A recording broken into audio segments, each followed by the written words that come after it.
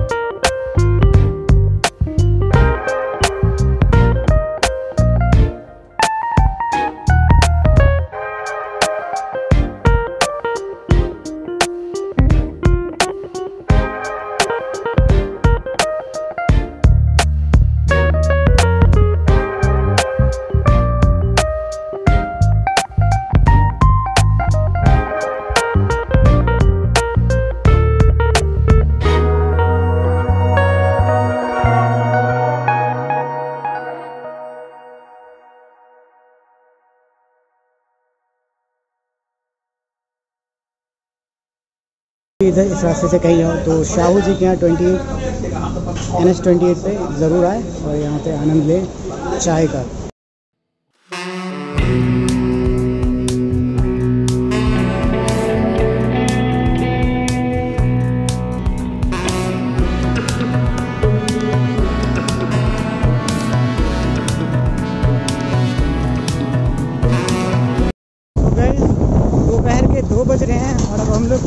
आ चुके हैं।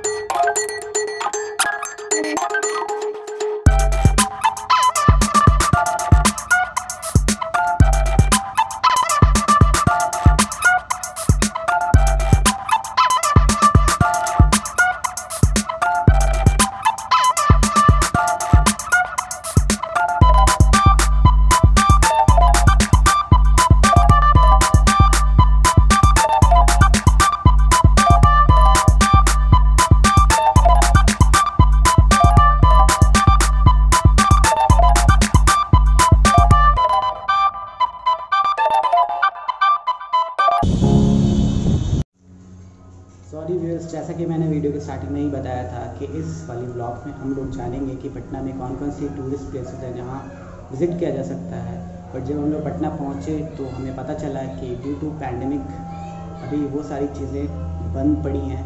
हालाँकि वहाँ अनलॉक फोर भी हो गया है और लॉकडाउन जैसा कुछ दिखता भी नहीं शहर में आप घूमने, शहर में अगर आप घूमोगे तो आपको कहीं से भी ऐसा नहीं दिखेगा कि लॉकडाउन चल रहा है या फिर कोरोना पीरियड था पहले। बट अभी ऐसा कुछ है नहीं, हम लोग शहर में घूमे हैं, कहीं पे कुछ नहीं है। हालाँकि ये सोशल गैदरिंग बेसिकली उसको अवॉइड करने के लिए ही किया गया है गवर्नमेंट के थ्रू बट अभी तक इस चीज़ का मुझे कहीं ऐसा दिखा नहीं, क्योंकि आप स्टेशन पे देख लो, वैसे ही भीड़, या फिर आप ऑटो में देख लो बसेज में देख लो, हर जगह पे रश लेकिन ये ये सारी चीज़ें बंद थी तो इस, अभी दो तीन दिनों में काफ़ी अनफॉर्चुनेट चीज़ें हुई हैं मेरे साथ। आई होप कि आगे से ना हो। सो गाइज़ स्टिल मैं कुछ जगहों के बारे में बता रहा हूँ, जहाँ पटना में आप कभी जाना हो तो वहाँ आप घूम सकते हो इसलिए। तो उसमें जो पहली प्लेसेस है, पहली प्लेस है, वो है N I T Ghat. N I T Ghat Ganga का किनारा काफ़ी अच्छा व्यू वहाँ से दिखता है और आप लोग वहाँ काफ़ी इन्जॉय कर सकते हो। दूसरी जगह जो है, जो मेरी फेवरेट है Nicco eco park sorry eco park वो निको पार्क कलकत्ता वाले याद आ गया। तो इको पार्क जो है, वो काफ़ी अच्छा जगह है, जहाँ आप अपने अच्छे टाइम स्पेंड कर सकते हो, अपने फ्रेंड्स के साथ, अपने फैमिली के साथ। एंड जो तीसरी चीज़ है, वो है जू पटना जू काफ़ी अच्छा जू है। मैंने कई सारे जू घूमे हैं, लेकिन मुझे पटना वाला जू काफ़ी पसंद है। मैंने जयपुर वाला जू घूमा, दिल्ली वाला जू घूमा है बट मुझे पटना वाला बहुत ज़्यादा पसंद आया। उसके बाद आप घूम सकते हो ऐतिहासिक गांधी मैदान, पास में ही विश्वमान भवन, और गोलघर आपको दिख जाएगा। तो वहाँ घूम सकते हो।